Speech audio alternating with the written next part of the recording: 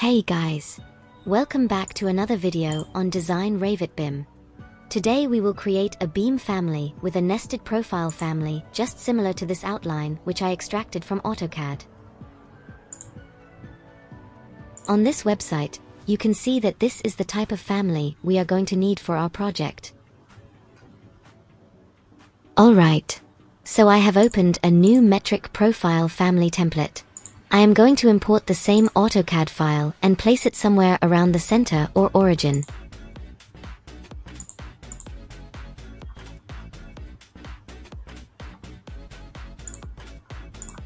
Now I would place the outline just as I want my beam family when I load it back in the project. So here I have an I-beam as well as double T-beam outline in the same AutoCAD drawing. I have already created the family for I-beam just in case you are wondering about that.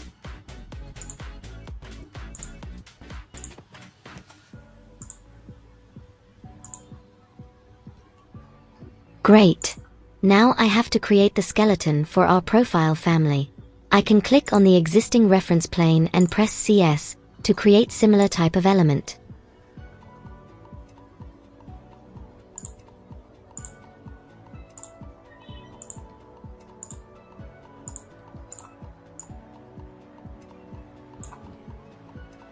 Since we can see we have this family symmetric along the central vertical axis, we can use the EQ option to extend the profile equally along both the sides. Note that we don't have any symmetry along the horizontal plane.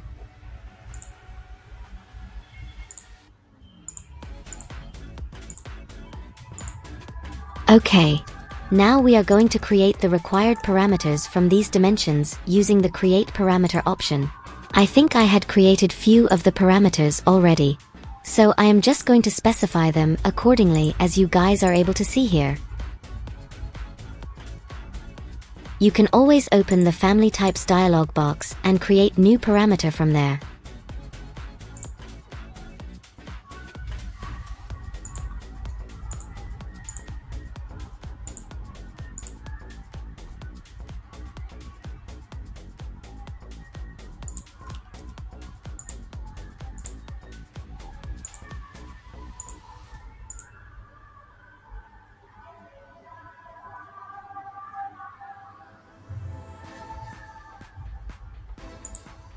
So now after we are done creating labels for each of our dimensions, we will continue creating the reference planes which will help us to control the geometry of our element, which in this case is the profile of our beam family.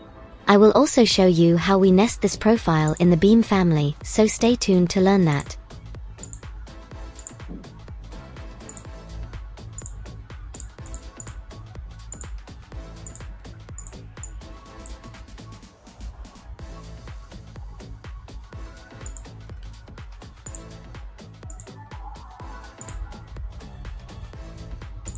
Try to keep the working area clean and avoid any overlapping of elements. I will also recommend to complete the creation of new family in a single sitting, because next time when you will open the family you won't remember exactly what process you were following to create it. Haha.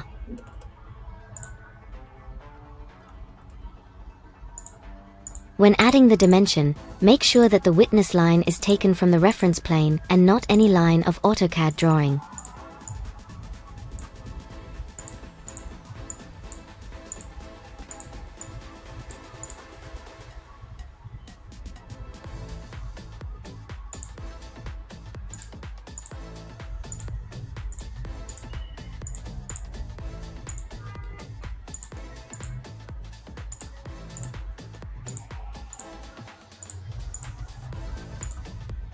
Use short keys whenever you can.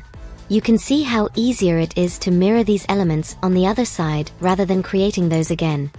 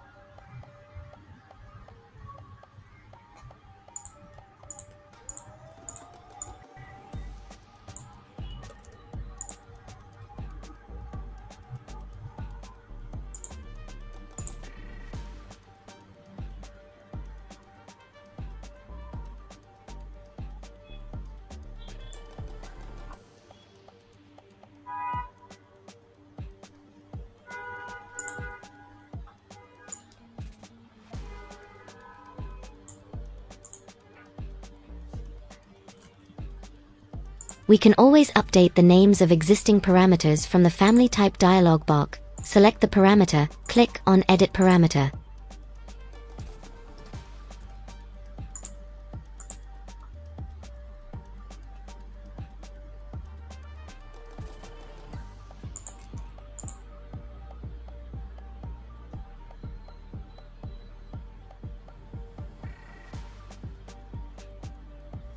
Looks like we are done creating all the required parameters. So let us add the actual profile lines and lock it with the reference planes.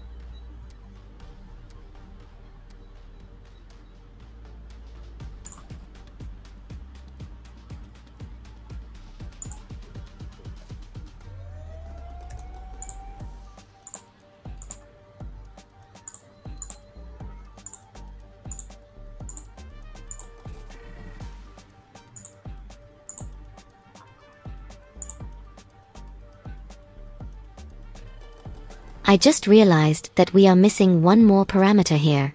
So I am going to add it first.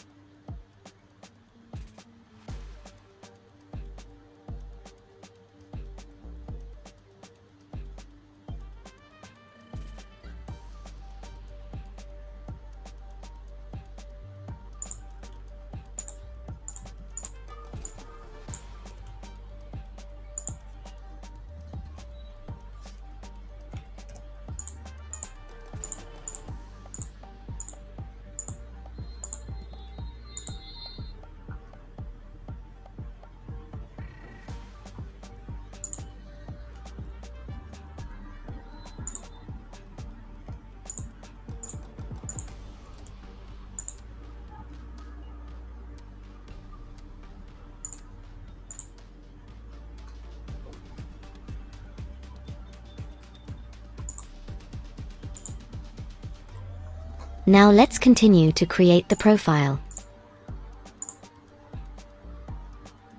Note, when giving the start or end point, we must pick the vertex or intersection of reference planes. Because the parameters will only function to change the position of reference planes and since our profile lines are locked with the reference plane, modifying the parameters will automatically modify the profile.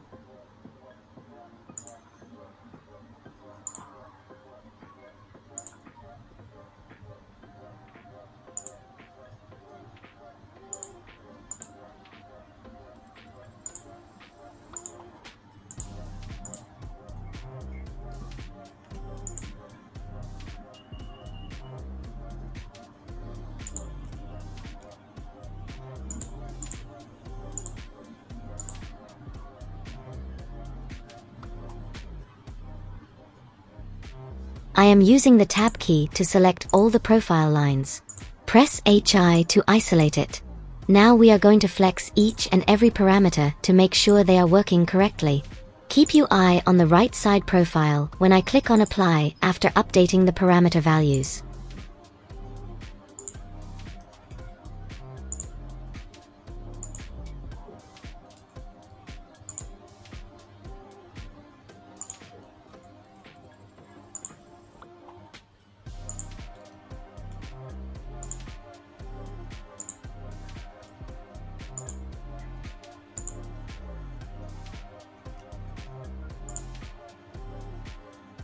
Great! None of the updates broke the family that means our reference planes are not over-constrained and the profile family is working perfectly fine. Now I want to match the parameter values according to the desired characteristics of the family which we need in our project. Since I have taken this sketch of AutoCAD drawing from the design drawing, I am just going to match it with that.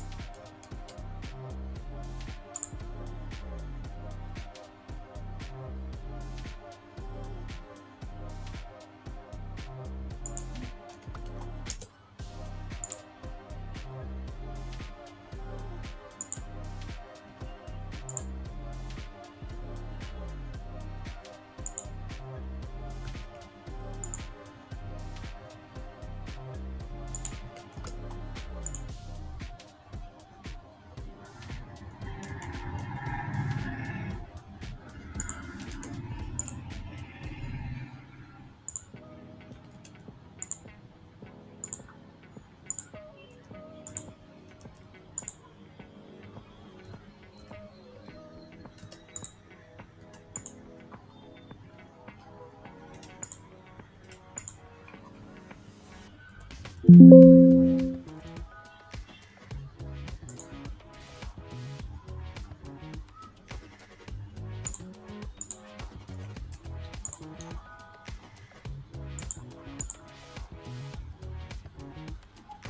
you have reached up to this point, that means most part of this task is already done.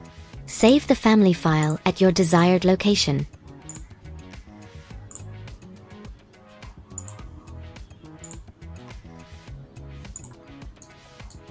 Now we have to nest our profile family in the structural framing family. Before that I have to load the profile in this family.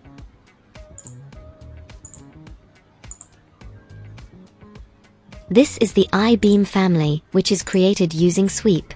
So what I can do is simply specify the new profile in the sweep to update this beam.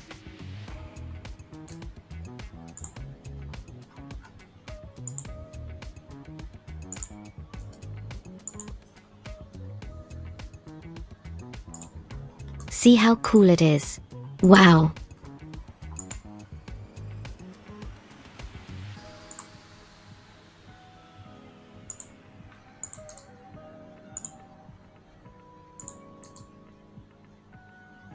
Expand the profile family from the project browser and then right-click on Type Properties of the family type. Now we have to associate the parameters of our profile family to the structural framing family. I am taking a screenshot to remember the names as well as values of the parameters which we require. Delete if there are existing parameters which were associated with the I-beam profile in my case.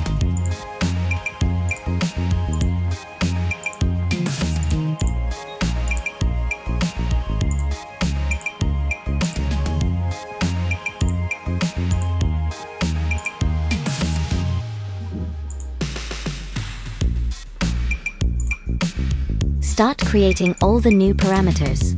The names of parameters in the structural framing family can have different names. But we must know or understand which parameter of profile family should get associated with which parameter of beam family.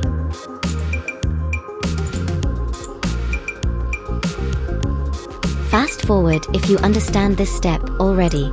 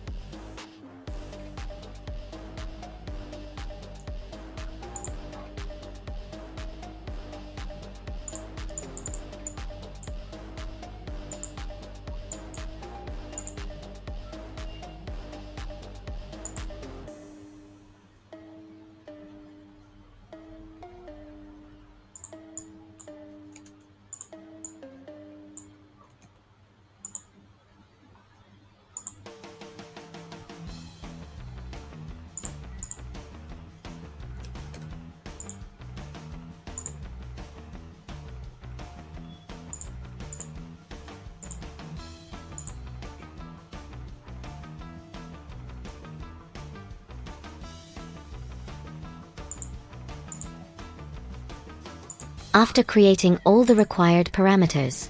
Open the Type Properties of Profile family again. Click on this option to make the association of parameters.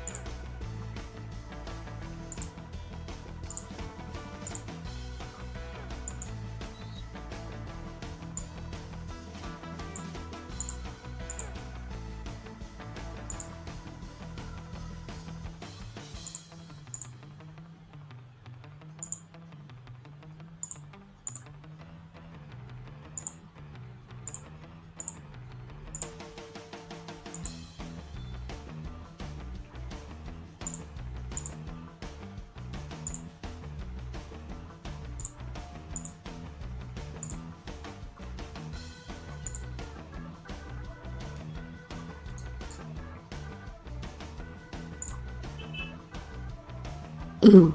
By mistake, I have grouped my parameters in other. Let me just quickly move them back under dimensions. Fast forward if you understand this step already.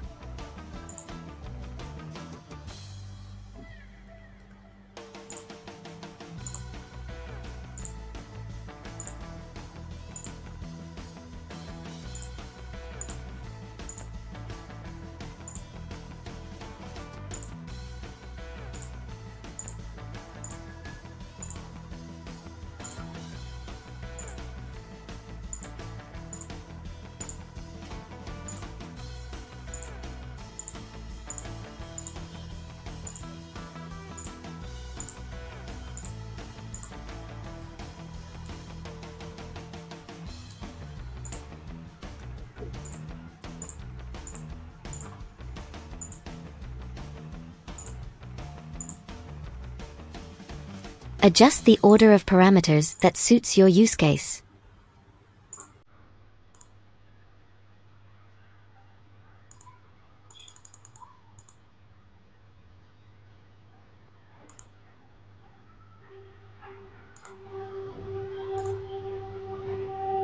Again, we must flex all the parameters to check if the element is updating correctly without any issues.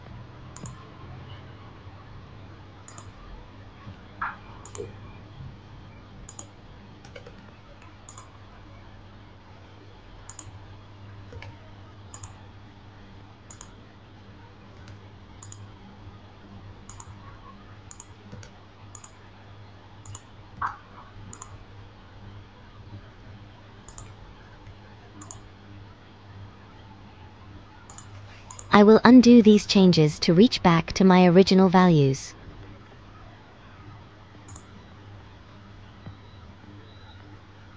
That's it. We have finally understood the process. Now let's just save this file at the desired location. I am using Save as option to make a copy since I was working in the I-beam family.